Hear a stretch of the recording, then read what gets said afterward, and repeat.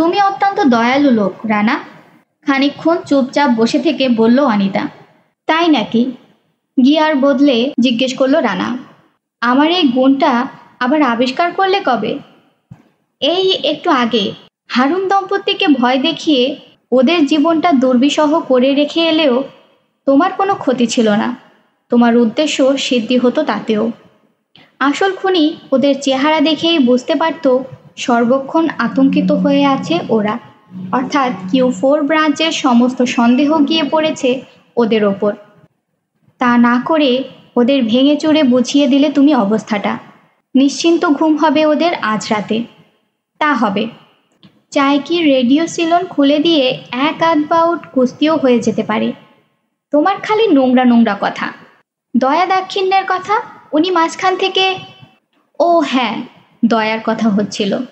ঠিকই বলেছ, দয়ার সাগর আমি।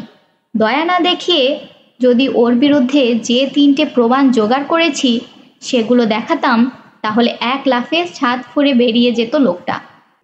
তাতে ছাতের ক্ষতি হতো, ডক্টর হারুনও মাথায় ব্যথা পেতে পারত। হাঁ করে চেয়ে রইল অনিতা রানার মুখের দিকে। খানিক চুপ করে থেকে বলল, বুঝলাম না তোমার কথা। কাগজে জড়ানো তিনটে জিনিস আছে আমার কাছে। এক নম্বর, খানিকটা লাল মাটি। ওদের গ্যারেজে দাঁড় করানো স্কুটার মাঠগার্ড থেকে খুঁচিয়ে তোলা। ডক্টর হারুন কাজে যায় বাসে করে। তাহলে স্কুটারের মার্ক গার্ডে ওই লালচে কাদা লাগল কি করে? আশপাশের কয়েক মাইলের মধ্যে এই রঙের মাটি আছে কেবল রিসার্চ সেন্টারের চারপাশে। ওই মাটি কেন ওখানে ফেলা হয়েছিল সেসব ইতিহাসও আমার জানা আছে। দুই নম্বর, একটা হাতুড়ি গ্যারেজের ভেতরেই একটা বেঞ্চের উপর রাখা ছিল ওটা।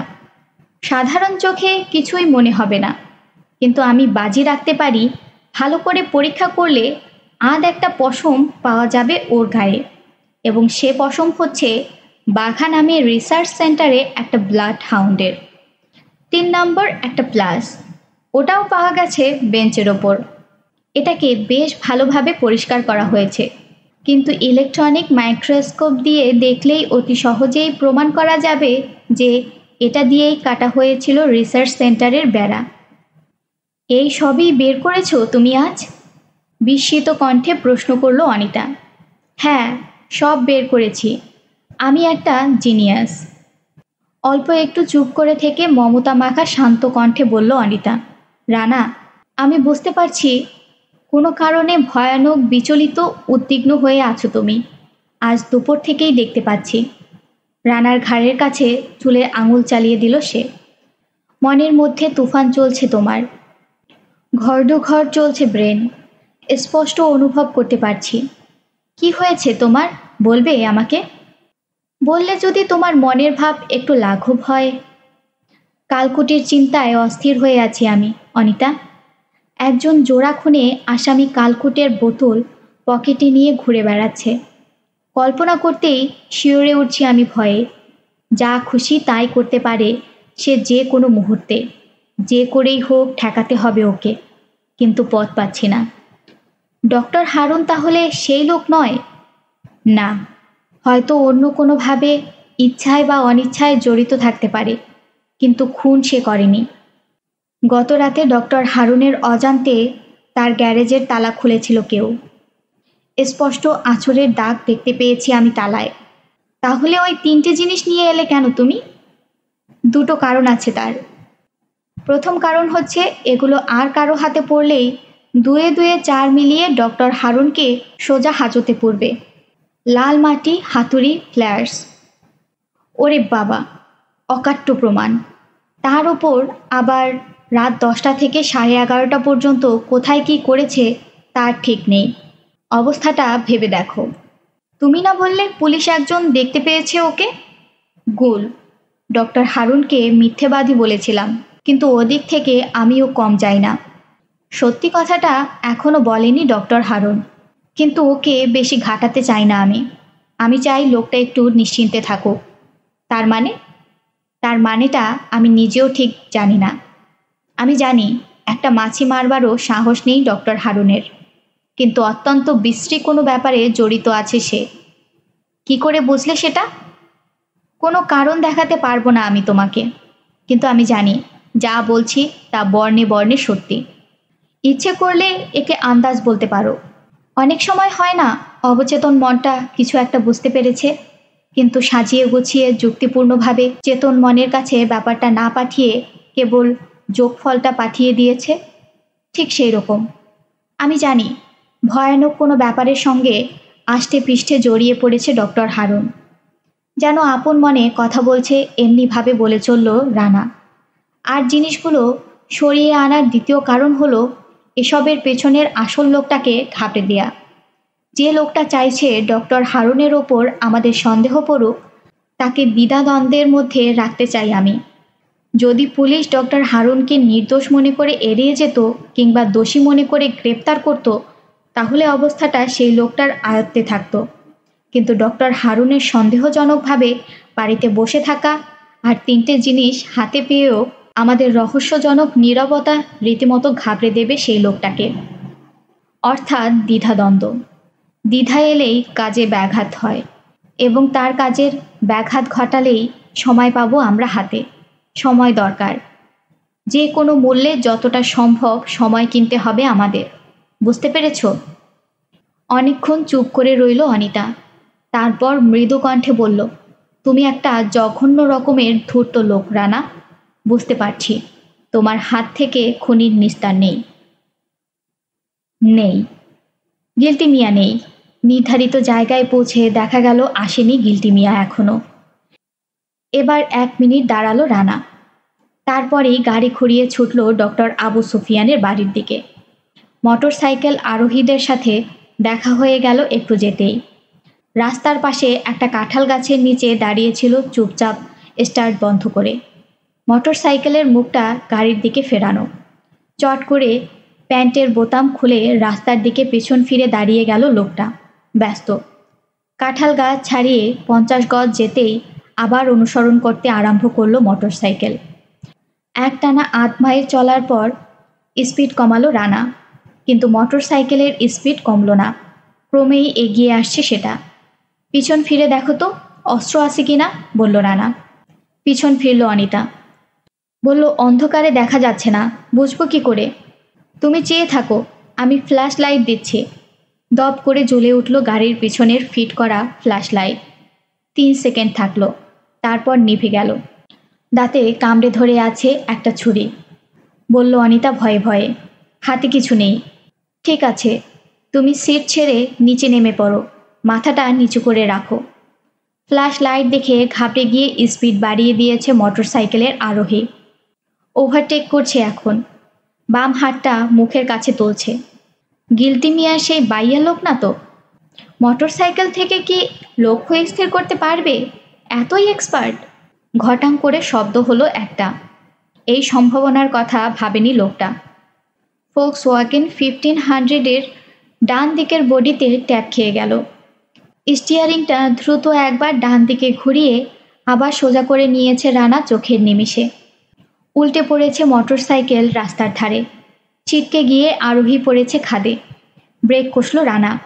এক ঝটকায় খুলে ফেলল পাশের দরজা। বেরিয়ে এলো রাস্তায় টর্চ হাতে। চালু আছে টু স্ট্রোক ইঞ্জিনটা পাই পাই ঘুরছে মোটর সাইকেলের চাকা। মাটিতে শুয়ে শুয়ে। পাশেই পড়ে আছে একটা থ্রোয়িং নাইফ এদিকে লক্ষ্য দিল না রানা। এদের মালিককে চাই। এক লাফে রাস্তার ধারে চলে গেল সে। টর্চ জ্বালালো। পানি জমে আছে ডিচে তার ওপাশে ধান ক্ষেত এপাশ ওপাশ টর্চের আলো বুলিয়ে কাউকে দেখতে পেল না রানা। আলো দেখে ডাঙা থেকে পানিতে ঝাঁপিয়ে পড়ল একটা কোলা ব্যাং এবার ধান ক্ষেতের ওপর আলো ফেলতেই দেখতে পেল রানা লোকটাকে। প্রাণপণে ছুটে পালাচ্ছে সে ধান ক্ষেতের ওপর দিয়ে। এক নজর দেখেই বুঝল রানা, ওকে তাড়া করা বৃথা। ধান ক্ষেত দৌড়ে ওয়ার্ল্ড রেকর্ড ব্রেক করবার চেষ্টা করছে সে। ছুরিটা তুলে নিল রানা সাবধানে। এক টানে মোটর সাইকেলের ফুয়েল পাইপটা খুলে ফেলল।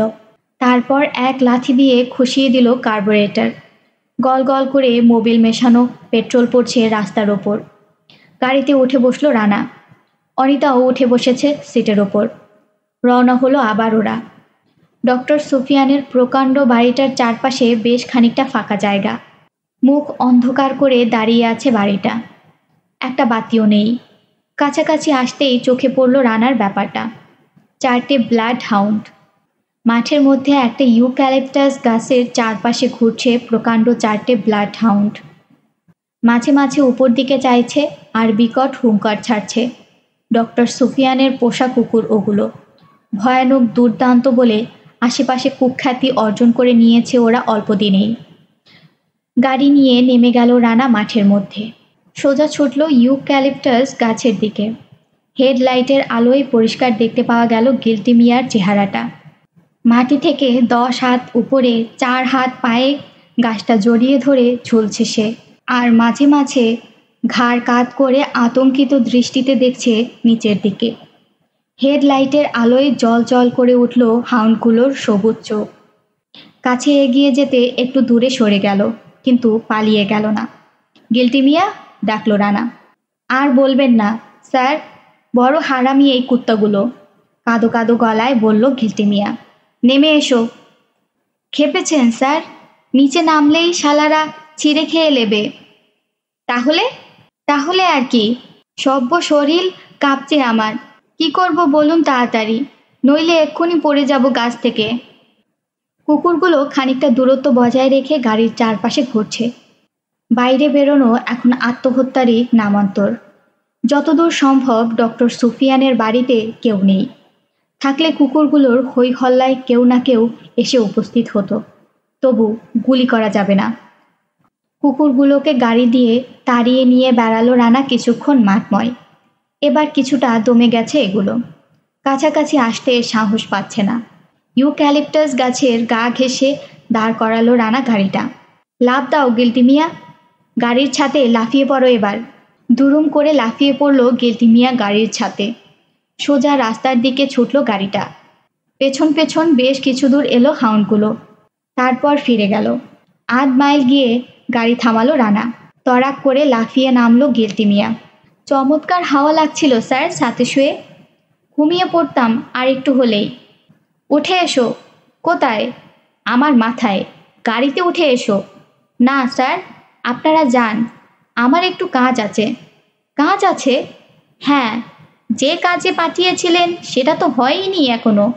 বাড়িতে ঢুকেছি কি ঢুকিনি, হই হই করে হারামি কুত্তাগুলো পেরে লিয়ে গিয়ে তুললো গাছের মাথায়। ওগুলোর কথা যদি আগে থেকে বলে দিতেন, স্যার, তাহলে আর এ ঝক্কি পোহাতে হতো না। ঠিক আছে, আমার নামও গিলটি মিয়া। বত্রিশ বছর ধরে আছি এ লাইনে। ভিতরেই ঢুকতে পারোনি, জিজ্ঞেস করল রানা। তবে আর বলছি কি, স্যার? চৌধুরী সাহেবের সিগারেট কেসটা না নিয়ে ঘরমুখ হব না আজ আমি। আপনারা বাড়ি চলে যান। আমি আসছি দু ঘণ্টার মধ্যে। কিসে করে আসবে? সেসব আপনাকে চিন্তা করতে হবে না, স্যার। কত টারাক লরি হর হামেশাই ঢাকা ময়মনসিংহ করছে, পৌঁছে যাব ঠিকই। আপনারা রওনা হয়ে যান, স্যার। বৃষ্টি নেমে পড়বে এক্ষুনি। কয়েক সেকেন্ড চিন্তা করল রানা। প্রত্যেককে চেক করা হচ্ছে যখন ডক্টর সুফিয়ানকে বাদ দেওয়ার কোনো মানে হয় না। সেও তো কাজ করে এক নম্বর ল্যাবে কাজেই সন্দেহমুক্ত নয় সেও। গিলতি মিয়া যেতে চাইছে, যাক। শোনো, চলে যাচ্ছিল, থমকে দাঁড়াল গিলতি মিয়া। বলুন, স্যার। এটা রেখে দাও সঙ্গে। থ্রোয়িং নাইফটা এগিয়ে দিল রানা। একবার ছুরিটার দিকে আর একবার রানার মুখের দিকে চাইল গিলটি মিয়া, অবাক হয়ে। কিন্তু কথা না বাড়িয়ে মুচকে হেসে কোমরে কুজল সে ছুরিটা। সত্যি, ঝমঝম বৃষ্টি নেমে গেল দশ মিনিটের মধ্যেই। সেই সঙ্গে তুমুল বাতাস। উড়িয়ে ফেলে দিতে চাইছে গাড়িটা নিজের ধান খেতে। একে রাত্রি তার ওপর এত ঘন হয়ে বৃষ্টি পড়ছে যে বিশ ফুটের বেশি দেখা যাচ্ছে না সামনে। টঙ্গী ব্রিজ ছাড়িয়ে এসেছে ওরা বেশ কিছুক্ষণ। কিন্তু যতই দক্ষিণে এগোচ্ছে, ততই বাড়ছে ঝড় বৃষ্টি। তাণ্ডব লীলা যেন পৃথিবী জুড়ে। আকাশ চিরে চমকে উঠছে বিদ্যুৎ। গুড় গুড় করে উঠছে আকাশের বুকের ভেতরটা। ভয় করছে, বলল অনিতা। ভয় কি, নিতা? আমি তো আছি, বলল রানা। তোমার ভয় করছে না? একটু চুপ করে থেকে প্রশ্ন করল অনিতা। করছে, কিন্তু ভাবছি তুমি তো আছো। যা ঠাট্টা ভালো লাগছে না এখন। বাঁকা চাউনি দিয়ে কপট কোপ প্রকাশ করল অনিতা। তাহলে কি ভালো লাগছে? কিছুক্ষণ চুপ করে রইল অনিতা, তারপর বলল, ভয় ভয় করছে ঠিকই, কিন্তু এই যে এত বৃষ্টির মধ্যে দিয়ে চলেছি, কিন্তু ভিজছি না এক ফোঁটাও। এজন্যে অদ্ভুত একটা মজাও লাগছে ভেতর ভেতর, তাই না? মজাটা বেরিয়ে যাবে এখন একটা চাকা লিক হলেই। যেমনি বলা, অমনি বসে গেল পেছনের একটা চাকা। এই যা, এখন শঙ্কিত হয়ে উঠল অনিতার চোখ। এখন কি করবে? কি আর করব? হয় বসে থাকতে হবে, বৃষ্টি না থামা পর্যন্ত, নয় ভিজতে হবে। বললাম, না, মজাটা বেরিয়ে যাবে। তুমি মুখ দিয়ে অমন অলক্ষণে কথা বের করেছ, তোমার মজা বেরোবে।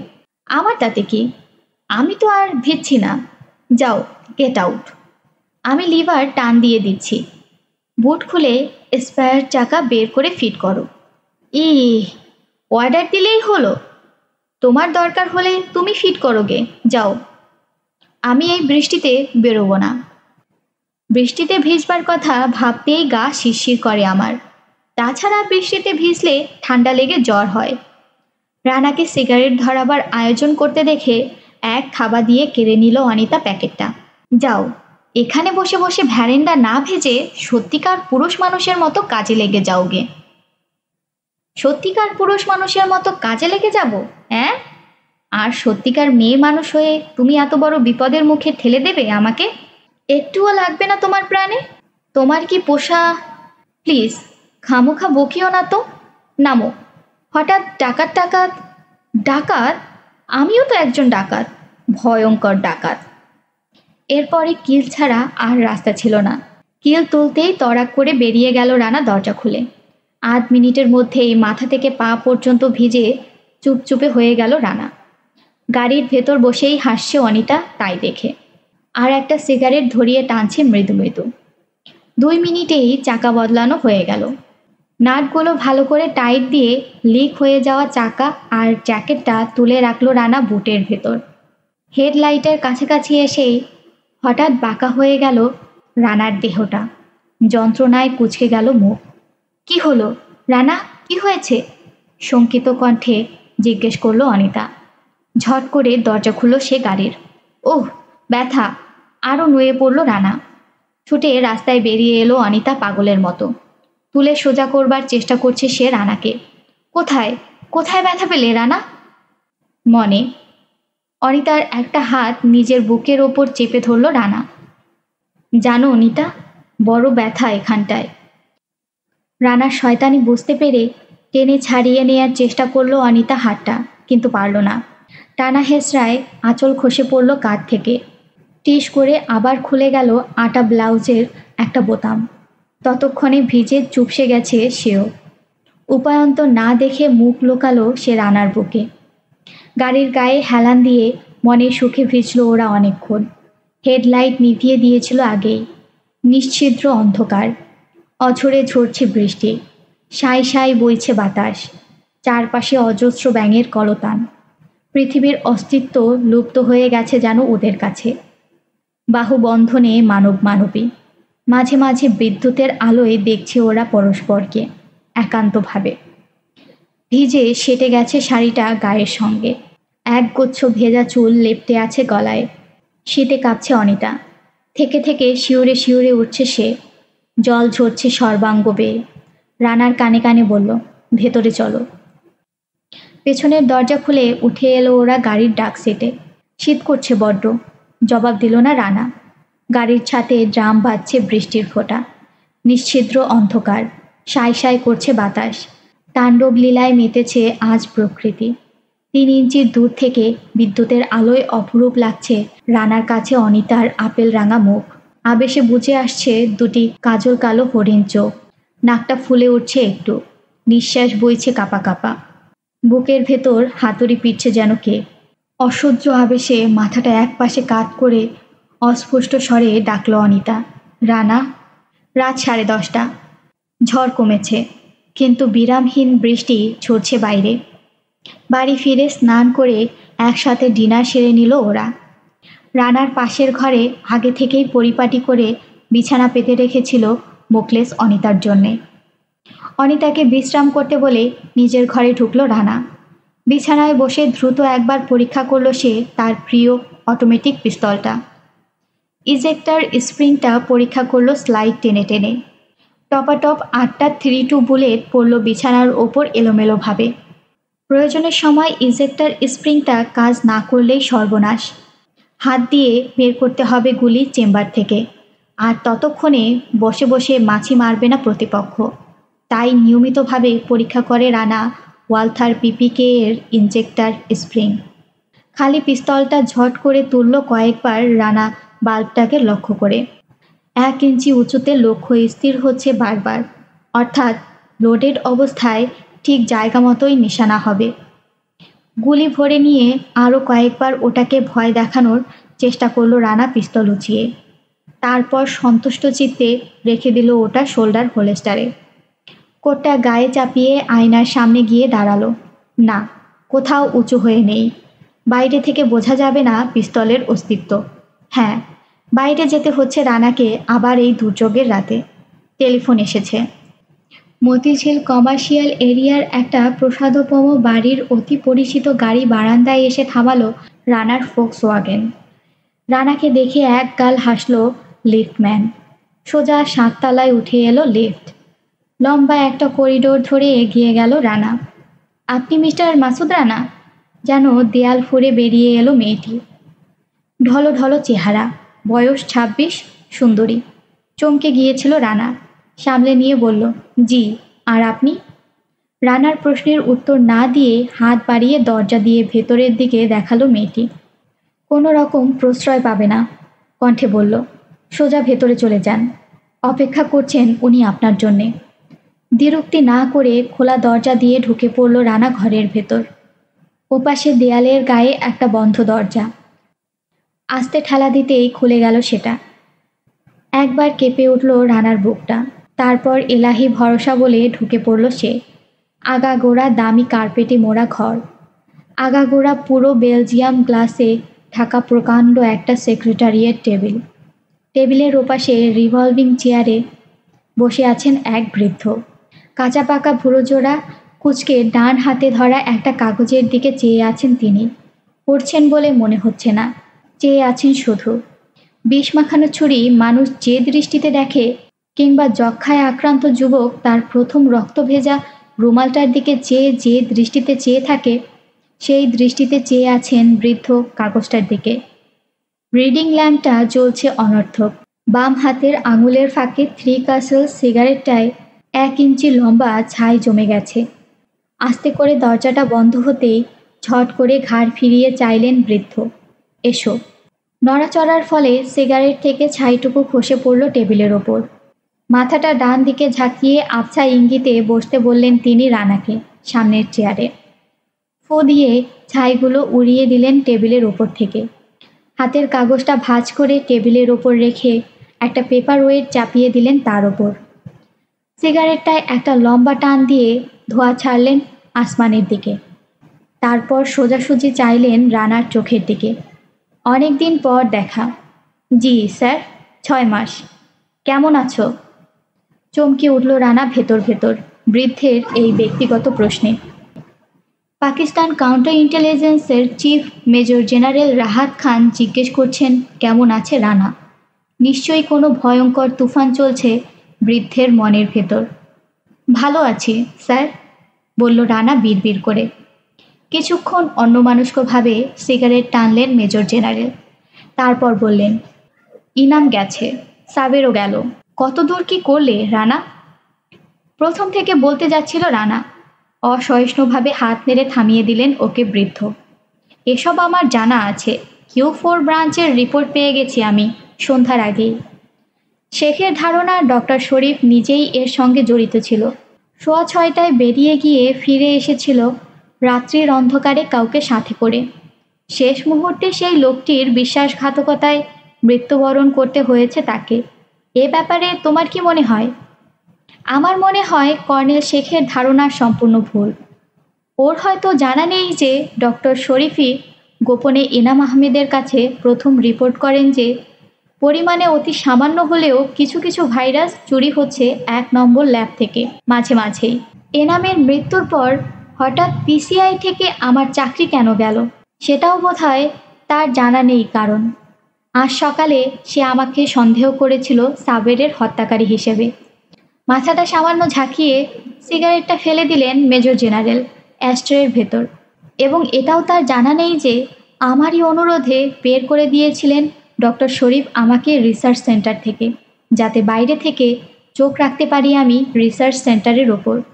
কাজেই ভুল ধারণা করা কর্নেল শেখের পক্ষে অস্বাভাবিক নয়। এবার আমি সংক্ষেপে আমার রিপোর্টটা সেরে নিয়ে কাজের কথায় আসছি, স্যার। পাঁচ মিনিটের মধ্যে মোটামুটি সব ঘটনা জানা হয়ে গেল মেজর জেনারেল রাহাত খানের। রানা জানে, এর একটি কথাও ভুলবেন না তিনি জীবনে। এবার তোমার ব্যাখ্যা দাও, সিগারেট ধরিয়ে নিয়ে বললেন মেজর জেনারেল। আমার ব্যাখ্যা হচ্ছে, ডক্টর শরীফ গতকাল রিসার্চ সেন্টার ছেড়ে বাইরে বেরোননি। কাজেই রাতের অন্ধকারে ফিরে আসবার কথাই ওঠে না। একজন অত্যন্ত ধুরন্ধার লোক আছে এসবের পেছনে এবং রীতিমতো দলবল নিয়ে কাজ করছে সে। দুজন অপরিচিত লোক ঢুকেছিল কাল রিসার্চ সেন্টারে দিনের বেলা। কি করে? খাঁচার মধ্যে করে। প্রতি সপ্তাহে পাঁচ ছয়টা প্রকাণ্ড খাঁচা ভর্তি গিনিপিক খরগোশ, ইঁদুর আসে রিসার্চ সেন্টারে সাভারের একটা ফার্ম থেকে। এতই নিয়মিত আসে যে এখন আর ওগুলো চেক করা হয় না। গতকাল এসেছিল এরকম ছয়টা খাঁচা। সি ব্লকের সামনে নামিয়ে রাখা হয়েছে তিনটে। এর মধ্যে অনায়াসে দুজন লোক লুকিয়ে আসতে পারে। এছাড়া গার্ডদের ফাঁকি দিয়ে রিসার্চ সেন্টারে বাইরের লোক ঢুকবার আর কোনো পথ আমার মাথায় আসে না। কিছুদিন আগে এই কথাটা মাথায় এলে কাজ হতো। যাক, বলে যাও। এই দুজনের একজন ডক্টর শরীফ সেজে এসেছিল। আরেকজন এসেছিল এক নম্বর ল্যাবের কোনো একজন কর্মচারীর ছদ্মবেশে। মনে করা যাক, তার নাম ক। এদের কাজ হলো ঠিক সোয়া ছয়টার সময় গেটে সিকিউরিটি ট্যাগ দেখিয়ে সই করে বেরিয়ে যাওয়া। তারা তাই করেছে। খাঁচা থেকে বেরিয়ে সি ব্লকের ভিতরেই কোনো নির্দিষ্ট জায়গায় লুকিয়েছিল ওরা। ঠিক ছয়টা বাজবার কয়েক মিনিট আগে বেরিয়ে যায় ডক্টর শরীফ ল্যাবরেটরি থেকে। সব শেষে বেরোতে হয় তাকে। কারণ উনি একবার বাইরে থেকে দরজা লক করে দিলে আর কেউ খুলতে পারবে না। সবাই চলে গেছে। ডক্টর শরীফও বেরোতে যাবেন। এমন সময় পিস্তল হাতে ল্যাবরেটরিতে ঢুকেছে ক, সঙ্গে দুই সঙ্গী। নিজের এবং ডক্টর শরীফের সিকিউরিটি ট্যাগ বের করে দিয়েছে ক, সঙ্গীদের হাতে।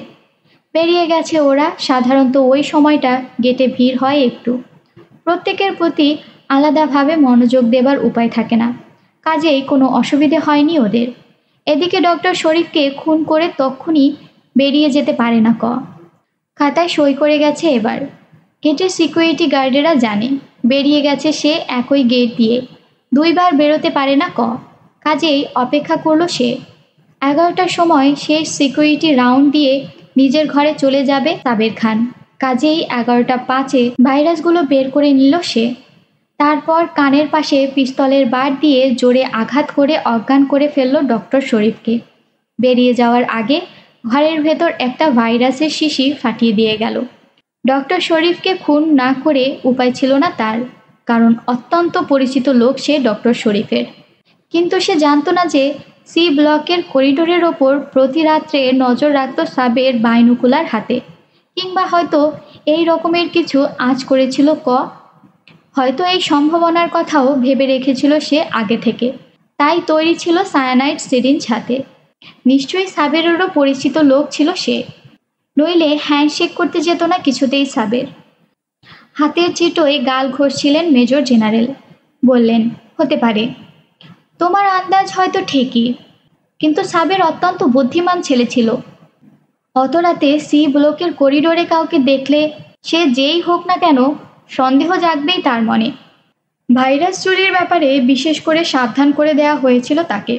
কাজেই হ্যান্ডশেক করাটা একটু অস্বাভাবিক ঠেকছে আমার কাছে। তাছাড়া হ্যান্ডশেক করে মারবার কি দরকার ছিল? পিস্তল তো ছিলই। গুলি করল না কেন? রানা বলে ফেলতে যাচ্ছিল। আমি কি করে জানব? আমি কি ছিলাম ওখানে? সামলে নিয়ে বলল, তা ঠিক বুঝতে পারছি না, স্যার। আচ্ছা যাক। তোমার এই গল্পের পেছনে নিশ্চয়ই যুক্তিপূর্ণ কারণ আছে কোনো? আছে, স্যার। হাউন্টার গলায় তার কাটার দাগ পাওয়া গেছে। কাটা তারের গায়ে রক্ত লেগে থাকা স্বাভাবিক মনে করে বুঝলাম অনেক। ভেতরের বেড়ায় পাওয়া গেল রক্ত। তার মানে রিসার্চ সেন্টারে কাল বাইরে থেকে ঢোকেনি কেউ, স্যার। কেউ একজন বেরিয়ে গেছে ভেতর থেকে বাইরে। কঠিন দৃষ্টিতে চাইলেন মেজর জেনারেল রানার মুখের দিকে। তারপর ইন্টারকমের একটা বোতাম টিপে বললেন, দু কাপ কফি পাঠিয়ে দাও, সোহানা। নাম তাহলে সোহানা, নতুন রিক্রুট হয়েছে। বেশ, ভালো কথা, ঠিক আছে। আমার নামও মাসুদ রানা। আসছি, আবার হেড অফিসে দেখে নেব। রূপের গুমর দেখা পারার জায়গা পাওনি। শেখের চোখে পড়ল না কেন কাটাতারের রক্ত? আমি মুছে দিয়েছি রক্তটুকু। কেন? আমি চাই ভুলভাল ইনভেস্টিগেশন চালাক কর্নেল শেখ। এর ফলে সন্তুষ্ট থাকবে আমাদের শত্রুপক্ষ। কিন্তু স্যার, এভাবে ওকে ঠকাতে খুব খারাপ লাগছে আমার। তাছাড়া মুখে কিছু প্রকাশ না করলেও অত্যন্ত পছন্দ করে ও আমাকে। ওর ধারণা, আমি আপনার সঙ্গে দুর্ব্যবহার করেছিলাম বলে বের করে দেওয়া হয়েছে আমাকে। তাই কিছুতেই ক্ষমা করতে পারে না। সব সময় একটা দূরত্ব বজায় রেখে চলে। ওর সাথে কাজ করতে খুব অসুবিধে লাগে, স্যার। ঠিক আছে, ওটা আমি ঠিক করে দেব। কিন্তু কাজ তোমাদের করতে হবে সম্পূর্ণ আলাদাভাবে। গোপনীয়তার প্রয়োজন আছে বলেই এ ব্যবস্থা করেছি আমি। বোধহয় আগে থেকেই তৈরি ছিল। একটা ট্রের ওপর কফির সরঞ্জাম আর দুটো উপর করা কাপ সাজিয়ে নিয়ে ঘরে ঢুকলো সোহানা।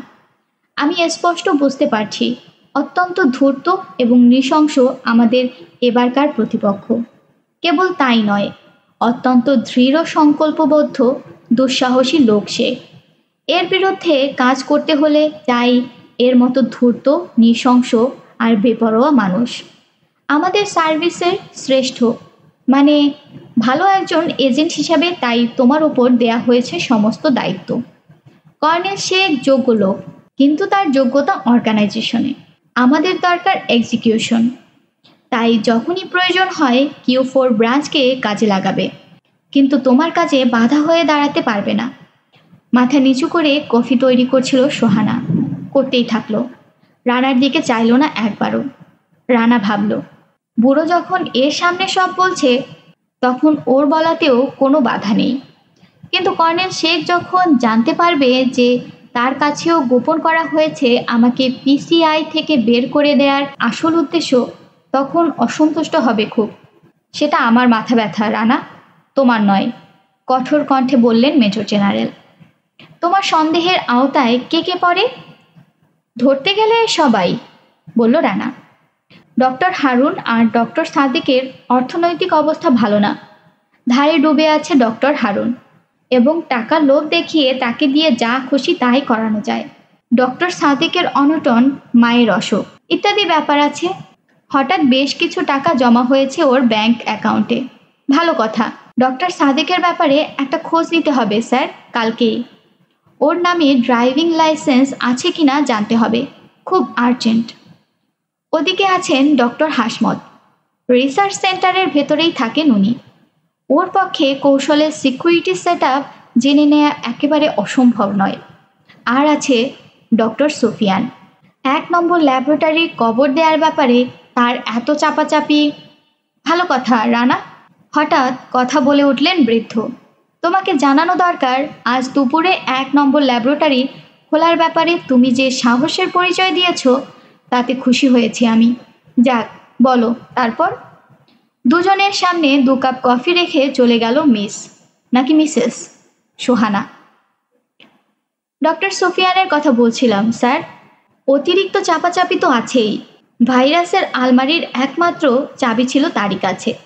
এই দুটো ব্যাপারই এমন খোলাখুলিভাবে ওই ভদ্রলোকের ওপর সন্দেহ টেনে নিয়ে যায় যে এ ব্যাপারে ভালো মতো ভাবনার প্রয়োজন আছে বলে বোধ করছি। ডক্টর সুফিয়ান সম্পর্কে আমাদের রেকর্ড কি ডাবল চেক করা হয়েছে?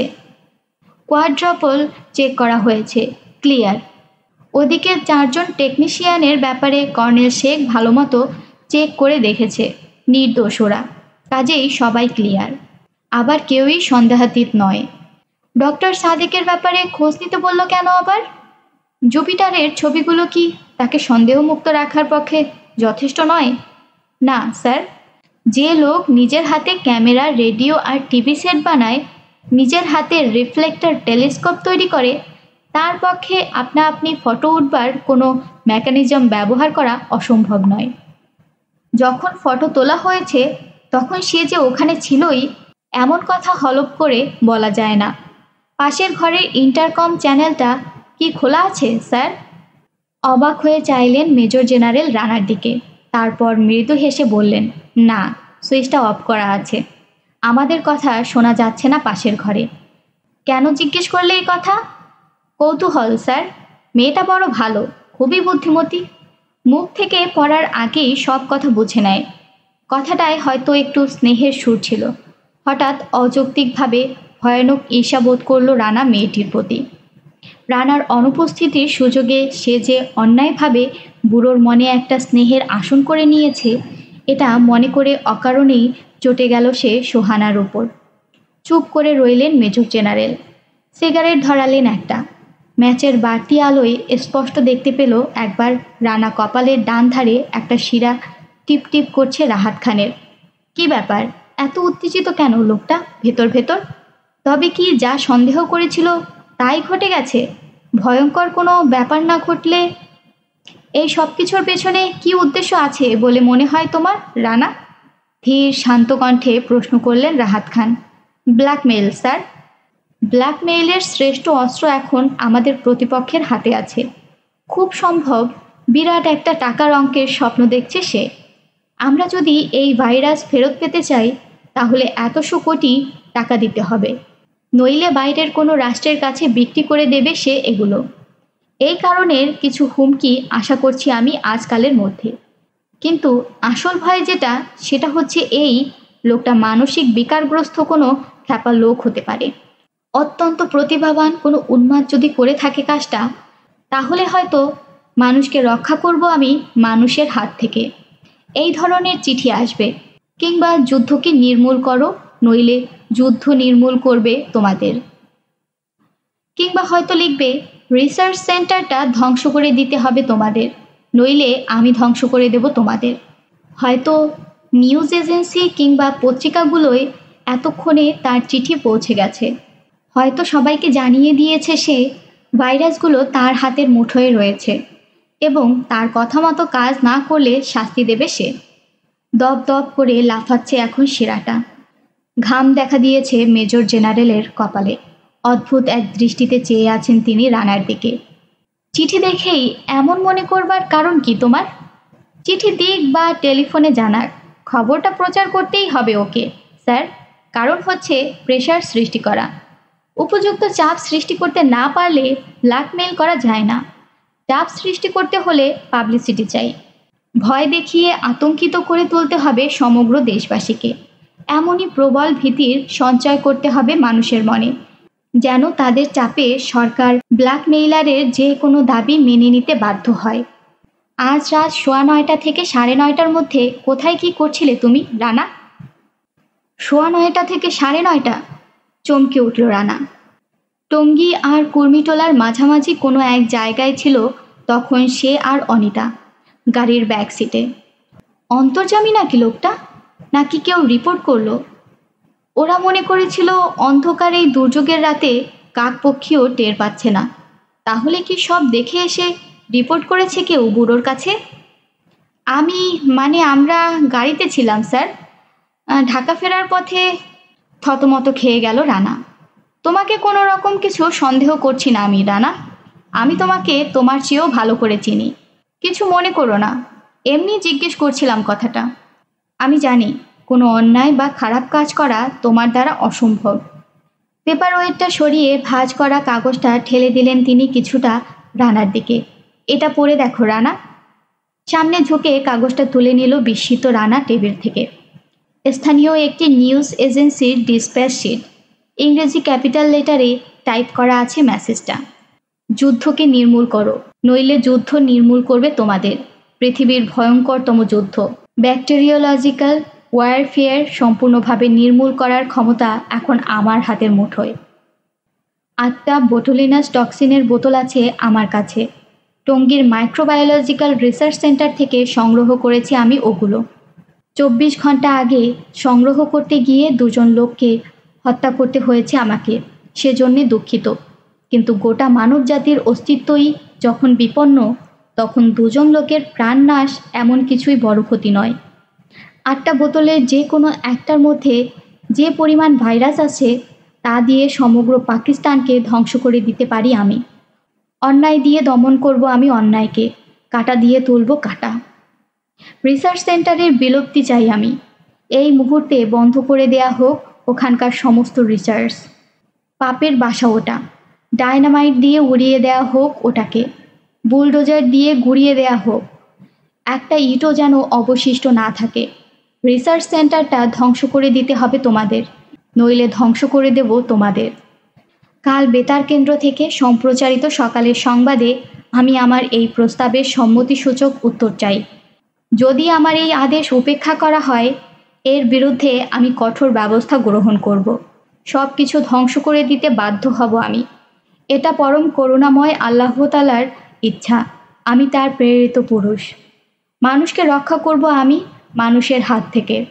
আগাগোড়া দুইবার পড়ল রানা মেসেজটা। ওই লোকেরই কাজ, সন্দেহ নেই তাতে। রিসার্চ সেন্টারের বাইরে আর কেউ জানে না যে আটটা ভাইরাসের বোতল চুরি গেছে। তোমার কি মনে হয় রানা? পাগল, স্যার, বদ্ধ পাগল, ভয়ঙ্কর এক উন্মাদ। ঠিক বলেছ। তোমার ভবিষ্যৎবাণীও কেমন কাটায় কাটায় মিলে গেল, দেখেছ? জি, স্যার। মনে হচ্ছে আমারই লেখা। কখন এসেছে, স্যার, মেসেজটা? সোয়া নয়টা থেকে সাড়ে নয়টার মধ্যে। এতক্ষণে বুঝলো রানা মেজর জেনারেলের আগের সেই প্রশ্নের তাৎপর্য। সোয়া নয়টা থেকে সাড়ে নয়টার মধ্যে রানা কোথায় কি করছিল জিজ্ঞেস করার পেছনে উদ্দেশ্যটা ছিল অন্যরকম। কথাটা এমনি জিজ্ঞেস করেছিলেন উনি।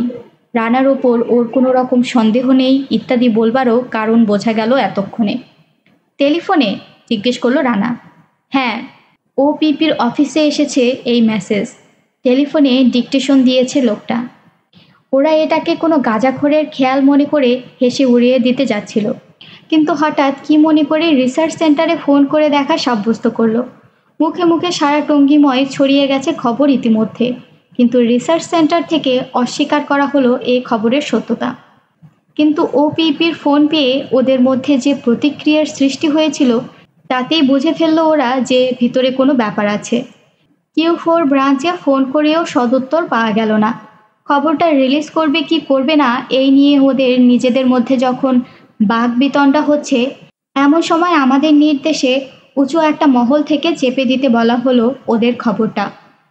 কালকের কাগজে যাবে না ঠিকই, কিন্তু পরশু পর্যন্ত এই খবর ঠেকানো যাবে বলে মনে হচ্ছে না আমার। একটু চুপ করে রইলেন বৃদ্ধ, তারপর বললেন, তোমার কি মনে হয় লোকটা সত্যিই পাগল? আমিও ঠিক এই কথাটাই ভাবছি, স্যার। চিঠি দেখলে যে কোনো লোক পাগলের প্রলাপ মনে করবে। কিন্তু ব্যাপারটা ইচ্ছাকৃতও হতে পারে। মানুষের মনে ভীতির সঞ্চার করতে গেলে পাবলিসিটি দরকার এবং ভীতিটা আতঙ্কে পরিণত হতে পারে তখনই, যখন মানুষ মনে করবে একটা পাগলের হাতে রয়েছে আটটা বোতল। সে জানেও না যে ওগুলোর তিনটের মধ্যে আছে কালকুট। ভুল করে বটলিনাস মনে করে কালকুটের একটা বোতল ভেঙে ফেলতে পারে সে যে কোনো মুহূর্তে। হইচই পড়ে যাবে দুনিয়াময়। যা চায় তাই দিয়ে ভালোই ভালোই ওর কাছ থেকে ভাইরাসগুলো হাত করবার জন্য প্রচণ্ড চাপ আসবে চারদিক থেকে। প্রতিটি চাল হিসাব কিতাব করে চালা। মনে হচ্ছে, স্যার, আমার কাছে। হয়তো সত্যি জানে না সে যে কালকুটের বোতল আছে ওর কাছে। জানে বলে ধরে নিচ্ছ কেন? ধরে নিচ্ছি না, স্যার, আমি জানি। যে লোক এত সব খোঁজ খবর নিয়ে নিখুঁতভাবে চুরি এবং খুন করে কৌশলে বেরিয়ে আসতে পারে রিসার্চ সেন্টার থেকে, সে না জেনে কোনো কাজ করবে না। প্রতিটা কাজে যে লোক অসাধারণ বুদ্ধিমত্তার পরিচয় দিয়েছে, বোতলগুলোর ভেতর বটুলিনাস টক্সিন আছে, এটা তার জানা আছে, কিন্তু কালকুটের কথা জানা নেই। এটা অস্বাভাবিক মনে হচ্ছে আমার কাছে। যাক, ভাইরাস চুরির ব্যাপারটা না হয় পত্রিকায় ছাপা হচ্ছে না। কিন্তু রিসার্চ সেন্টারের ভেতর হত্যাকাণ্ডের খবরটা ওটা কি ছাপা হচ্ছে, স্যার? ওটা ঠেকাবার কোনো রাস্তা নেই। টঙ্গীর সমস্ত লোক জানে খবরটা। নিজস্ব প্রতিনিধি মারফত খবর পৌঁছে গেছে সব পত্রিকা অফিসে। কাল প্রত্যেকটা পত্রিকাতেই ছাপা হবে এ খবর। আমি এবার চলি, স্যার। টঙ্গি যেতে হবে আমাকে আজ রাতেই। কি করতে চাও ওখানে গিয়ে? আবার একবার দেখা করতে চাই আমি। স্যার, এক নম্বর ল্যাবের প্রত্যেকটি লোকের সঙ্গে। রিসার্চ সেন্টারে সকাল সাতটার আগে ঢোকা যাবে না। তাই ডক্টর হাসমতের সাথে টেলিফোনে কথা বলব। একটা কিছু ইঙ্গিত দিয়ে তার রিয়াকশন দেখতে হবে। তারপর ভোর রাতের দিকে দেখা করব ডক্টর হারুন, ডক্টর সাদেক আর ডক্টর সুফিয়ানের সঙ্গে। তারপর ধরবো একে একে প্রত্যেকটা টেকনিশিয়ানকে প্রত্যেকের কাছে এমনভাবে দেখাবো যেন অনেক কিছুই জানি আমি। প্রতিপক্ষের লাইন অফ অ্যাকশন জানা হয়ে গেছে আমাদের। এবার তাকে একটু তাড়াহুড়োর মধ্যে ফেলতে হবে। এখন আর সময় নষ্ট করা চলে না। আগামী চব্বিশ ঘণ্টার মধ্যে কালকোট ফিরিয়ে নিয়ে আসব আমি রিসার্চ সেন্টারে চব্বিশ ঘণ্টার মধ্যে তীক্ষ্ণ দৃষ্টিতে চেয়ে রইলেন কিছুক্ষণ মেজর জেনারেল রানার মুখের দিকে। ধীরে ধীরে কোমল হয়ে এলো দৃষ্টিটা। এক টুকরো হাসি ফুটল তার উদ্বিগ্ন মুখে। আর কারও মুখে কথাটা শুনলে বিশ্বাস করতাম না। কিন্তু মাসুদ রানার কথায় বিশ্বাস করা আমার অভ্যাসে পরিণত হয়েছে। কিন্তু রানা, সত্যিই পারবে তুমি? পারব, স্যার। অন্যমনস্কভাবে মাথা ঝাঁকালেন বৃদ্ধ।